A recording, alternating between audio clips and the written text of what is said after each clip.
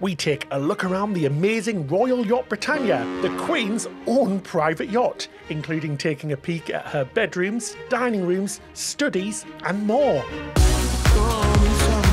Well, ahoy there, cruisers, and welcome to Edinburgh in Scotland. I think you can guess where we are today. We are by the amazing HMS Royal Yacht Britannia. Yes, Royal. This was Queen Elizabeth's second yacht from 1953 all the way up until 1997 until she was retired.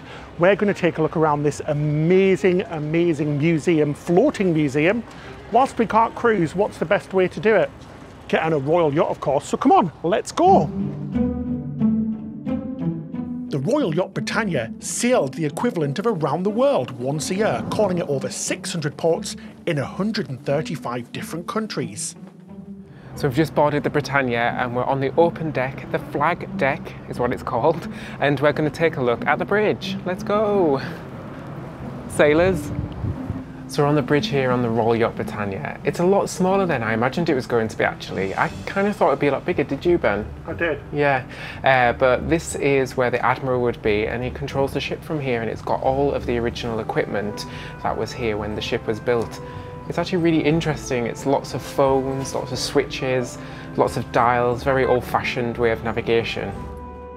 The yacht wasn't actually steered from the bridge. Commands had to be called down through metal pipes to a helmsman located in the wheelhouse on one deck below. The ship was built in Scotland by John Brown and Company, one of the most famous shipyards in the world, having even built the famous cruise liners Queen Elizabeth and Queen Mary. The Queen smashed a bottle of Empire wine because champagne was considered too extravagant in post war Britain and named her Britannia. I name the ship Britannia. May God bless her and all who sail in her.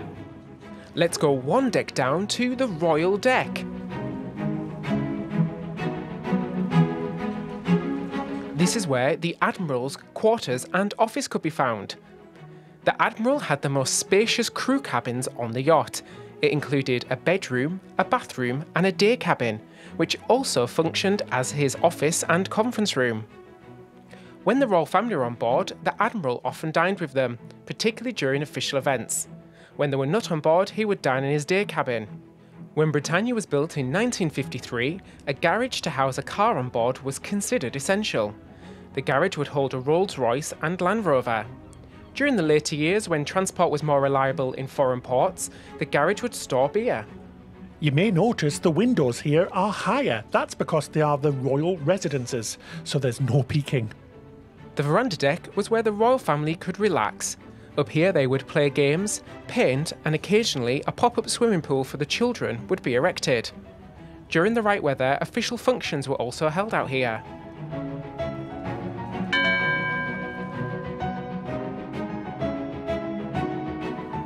The Sun Lounge was the Queen's favourite room on the ship, and it's easy to see why. It's so bright. She would enjoy breakfast, morning coffee breaks, and afternoon tea in here. It also has its own bar for cocktails. Perfect.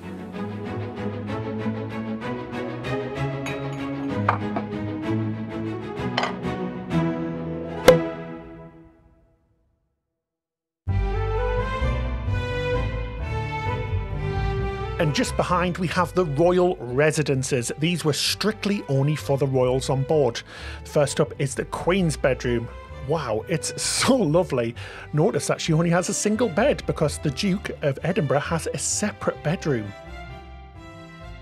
There's only one double room on board Britannia. This was brought on board by Prince Charles and Diana for their honeymoon in 1981.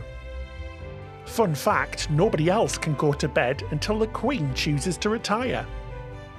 And this is the Duke of Edinburgh's bedroom, decorated in a more masculine style. They had separate bathrooms, but there was a connecting door to the Queen's cabin.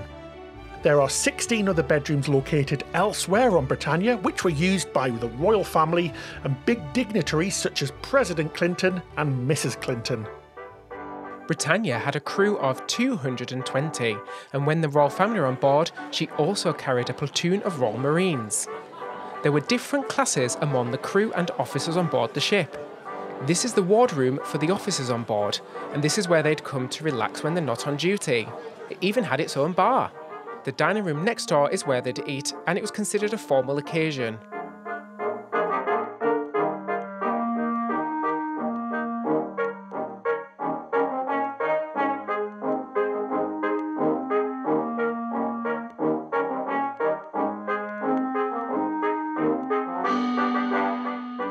Just along is the main galley.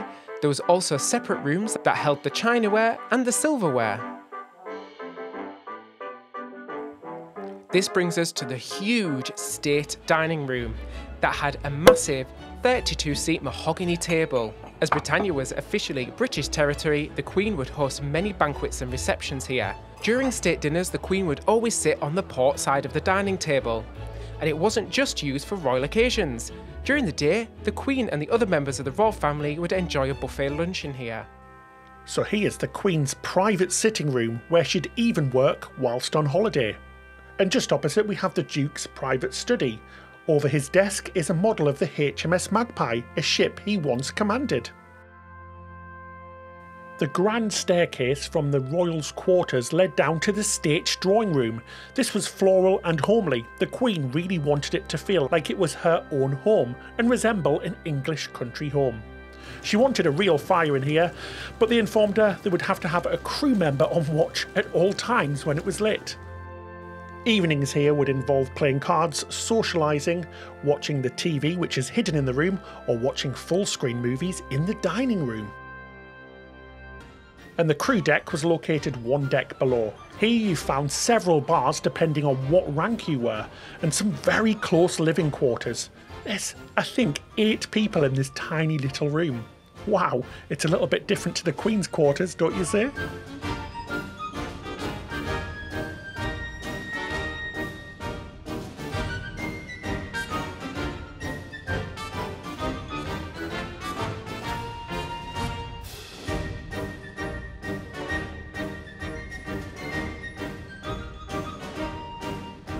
And another fun fact until 1973, the crew actually slept on hammocks.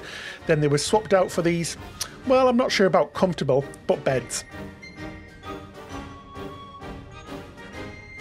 The pubs on board were known for their carnival like atmosphere and somewhere where the crew could relax. Even Elon Musk is enjoying himself.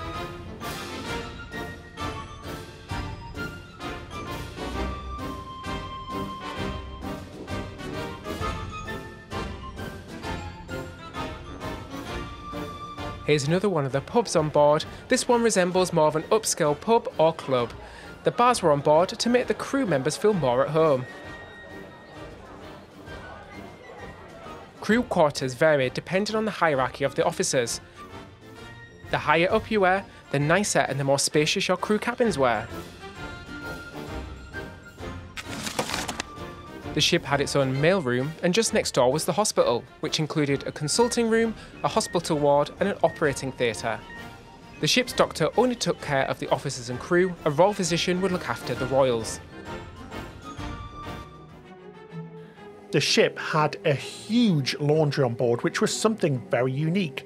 Temperatures in here, though, could get up to 120 degrees Fahrenheit. Oof, that must have been very hard work.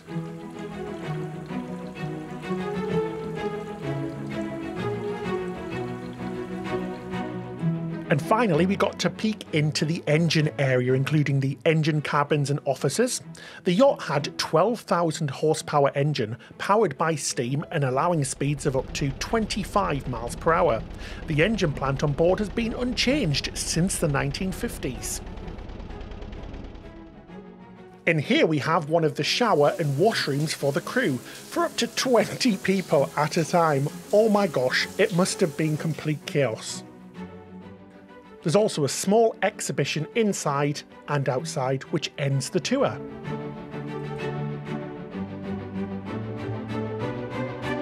Wow, what an amazing tour. That was really awesome. Um, yeah, it was interesting and it was, as Ben kept saying, it was strange because you're at points where history was made. So it was really cool. And you know what, guys? It was nice to be on a ship. It was nice to be back on a ship. We didn't go anywhere, but I absolutely loved it. So that's it for this episode and this amazing look around the HMS Royal Britannia. Wow, what an incredible place. We were so surprised how much of the ship you actually get to see. We even got to see where the, the Queen sleeps. She doesn't share a bed with Prince Philip. So that must have been an interesting relationship. Anyway, thank you so much for watching.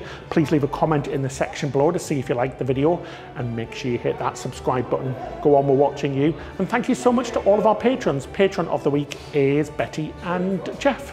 That's it till next time. Happy cruising.